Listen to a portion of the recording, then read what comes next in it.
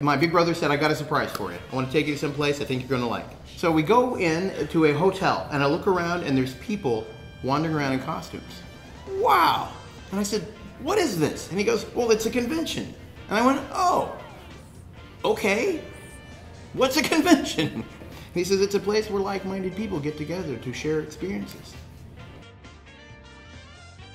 Let me give you some background about who I am. I am essentially a 13 year old boy. I am. I'm a 13 year old type 2 bipolar, which means that I have periods of mania, which means I'm hyper and excitable. And then the other times I'm depressed. I'm sad, I know, I'm, I'm not feeling crash, it's terrible. Now, most of the time, at a convention, I'm in manic mode, which works well because you see what I've done is I've taken what some people might see as a, as a disability or an issue and I've worked it to my advantage. Whenever I'm about to go on stage, I find myself nervous and, and overwhelmed with fear, frankly. I mean, it's scary to get on a stage, and it's scary every single time. But the difference is, is it kicks my mania in, so when I hit the stage, I'm brilliant. At least I think so. There is no roadmap to becoming a professional master of ceremonies. There just isn't. I tried to find one because I don't want to reinvent the wheel. I hate to work. I do. If it's work, I don't want to do it, which is why I love what I do. I don't work. When you find the thing that you love to do, and you can do it without any thought, without uh, of it being, okay, how much am I getting paid? All right, how long do I have to do this? Those are the two questions. If you have to ask those two questions because of the job, not because of your circumstances, then you're doing the wrong job. You know, and people, what do you want to do with your life? I don't know. And that's fine. I was 30 30 before Peter Pixie was invented. You want to live an incredible life, you have to do it. It's your life, it's nobody else's. And I can show you some of the things I've done. But in the end, you've got to step up. It's your world. So I'm going to ask you real quick what is it? The silly thing that when you were seven that you wanted to grow up and be, no matter what it was. Unless you want to be a butterfly, that might be a little difficult to do, but not impossible. There are ways to do it. We do cosplay a lot here. So, uh, what is it you wanted to grow up to be? You want a unique, marketable skill that's yours and nobody else's? Get in the top 5% of one thing and the top 25% of the other? Put those two things together, and you are somebody that nobody else is. You have something that nobody else can truly market that you can make a difference with. Now, I didn't know when I was a kid what I wanted to be. Actually, that's not true. What I wanted to be when I grew up was a Time Lord. Now let me share something with you. What the doctor does is, is he goes to uh, different worlds, he experiences different people, he travels with a companion, he has a cool ride, and, uh, and he runs a lot. So I can tell you, I grew up to be a Time Lord, ladies and gentlemen. I just didn't know it.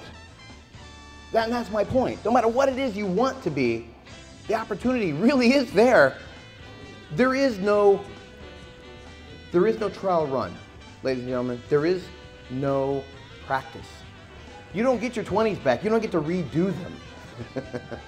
so make it a point to be the person you want to be as soon as you can, and you will find that your life is filled with greatness because you put it there. The single most uh, killer that will be for anything you want to do in your life is your own ego. Because I'm either too good for that, or you know what, I'm not good enough for that. How I got to be Peter Pixie is a Rocky Horror Picture Show Shadowcast needed a host, and I became that person. I need, I to talk about Rocky Horror because I really, for, for a long time, was mad at Rocky Horror Picture Show. And when I explained to you that because of Rocky, I, I have my son, because of Rocky, I have my job, I even got to act, direct, write, and produce. All the things I wanted to do when I grew up. But in ways that I had no idea would happen. I felt cheated, in fact, because there's theater, there is off-Broadway theater, there's regional theater, local theater, dinner theater, high school theater, and then there's the Rocky Horror Picture Show Shadowcast down here. And, and I ran the cast. But the problem was it was Rocky Horror Shadowcast, and I was bitter about that because it's like I wanted to go to New York, become a famous director. How cool would that be? And here I am with this Rocky Horror Picture Shadowcast. If you take I'm not good enough or am I good enough out of the equation, that changes the dynamic of everything. Because then it's just a matter of how do I do it? The greatest question any person in the entire world can ever ask themselves is this What would I do if I could not fail? We live in a world where we are taught to stop playing early. We're, you know, why don't you go out and play? Go out and play. Go out, how many times do you hear this kid? Go out and play. Go out and play. Go out and play. Go out and play. Then one day they're like, what are you doing? I'm playing. Aren't you too old for that? Well, that's the problem, folks, is if you don't know what it is you want to do, you've not played enough. Just go out and try things. It doesn't matter what it is. You could be terrible at it. Who cares? Try it. Do it. Go out and play. Dress up. Do things. Find what catches you. I like that. I want to do more of that. And do it until it's not fun. Then find something else to do. One day this may be no more fun for me. And I promise you that when that happens, when I think, all right, are they paying me enough? At that point, I know that I'm doing the wrong thing. I look for the positive. And that makes my world a very positive and happy place because I'm making people happy. That's really all we want is to make a difference and be recognized for that difference. And if somebody smiles at you because you said something nice, you have made a difference in the world and it changes you immediately. Having shared all these things and told you where I see the future of how to get happy and how to be in a life that you can do, I want to tell you that uh, this last month, my mother passed away. Now, I know that's sad, but, and I want to tell you a story about that because it's important to put things in context. My mother also was a bipolar, but undiagnosed. And in the 70s, getting help for uh, issues like that wasn't something that the poor people did. That was something people with money did. When I was seven, uh, she left. I was then in Wichita, Kansas.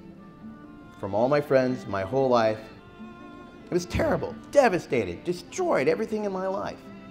But because I was in Wichita, Kansas, I ended up going to the Rocky Horror Picture Show. And because of Rocky Horror Picture Show, I met my first wife, which I, I have a son who's 20 something from her. I would not have had that if my mother had not had her issues and created all this havoc in my life. I would not later then meet my second wife. I would not have raised three children. I would certainly not be Peter Pixie. I would not be standing here right now. Context is important. So, I get a call about three weeks ago letting me know that she's, she's uh, dying. And I had to ask myself, what did I think about that? How did I feel about that? How should I feel about that? I mean, you should feel upset about it.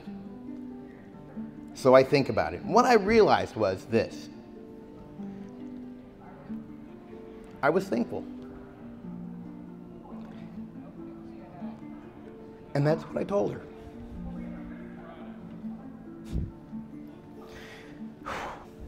So I went to her and I said, Thank you. I actually didn't go to say goodbye to steal a Doctor Who line. I, I went and said hello. I almost quit about four years ago. Everybody who does the convention circuit reaches a point where they have to ask themselves, am I willing to continue doing this? Well, if you are, then you have to jump in. You have to say, you know what? This is what I want to do. This is what I'm going to do. What is it going to take? Don't care what the rest of the world thinks because they're going to tell you that being a professional master of ceremonies, it doesn't, it doesn't work. Nobody does it. Go out and share with people the things that you find that you like. It'll do nothing but make your life more enriched. Because if you, if you want good things, if you want positive things, you have to get them. Because nobody else can tell what's inside you unless you tell them or show them.